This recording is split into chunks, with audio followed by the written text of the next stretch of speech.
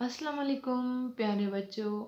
आज हम उर्दू कायदो इंशा के सफ़ा नंबर सोलह पर पढ़ाई करेंगे। हमारा आज का उनवान है इसम।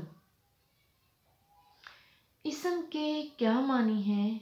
इसम किसे कहते हैं? इसम का लफ्ज़ सुनते ही आपके जहन में क्या आता है कि इसम क्या है? इसम के मानी नाम के हैं। इसम के मानी से आपको रोशनास करवाने के लिए पहले हम इसम की तारीफ़ पढ़ते हैं। इसम किसी शख्स, जानवर, चीज़ या जगह का नाम इसम कहलाता है। जैसे लड़का, बिल्ली, किताब, तोहफ़ा, बाग मुल्क वगैरह। इसम के बारे में मज़ीद आपको बताने के लिए हम एक सरगर्मी मुकम्मल करेंगे। तो देखिए सरगर्मी नंबर एक दर्ज झैल इसम पढ़िए और दिए गए दुरुस्त कॉलम में लिखिए। तो इस कॉलम में मुख्तलिफ़ अशास, जानवर, चीज़ और जगहों के इसम दिए गए हैं और यहाँ चार कॉलम बनाए गए हैं। यहाँ से तलाश करके हम इनकी मुख्त जगहों में वो इसम लिखेंगे। जैसा कि पहला कॉलम इंसानों के बारे में लिखा गया है कि यहाँ आपने इंसानों यानी शख्स शख्स में मर्द भी आता है और औरत भी।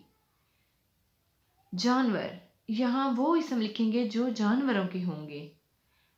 ये कॉलम जगहों वाला है, यहाँ पे जगहों के इसम लिखे जाएँगे और ये कॉलम चीज़ों वाला है। तो जैसा पहला कॉलम है, इसमें शख्स के बारे में लिखना है तो आप पहली लाइन में देखिए तो किस शख्स का ज़िक्र है? नर्स।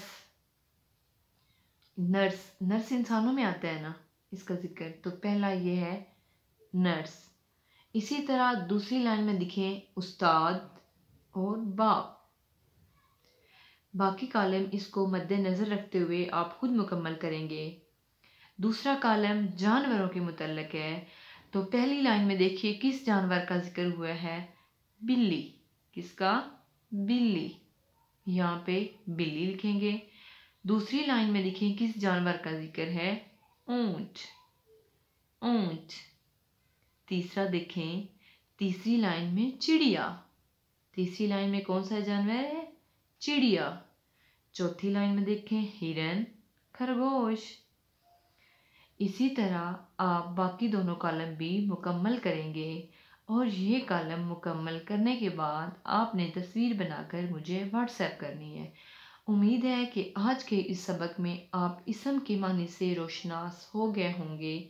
आज के दिन के लिए इतना सबक काफ़ी है। अल्लाह हाफिज़।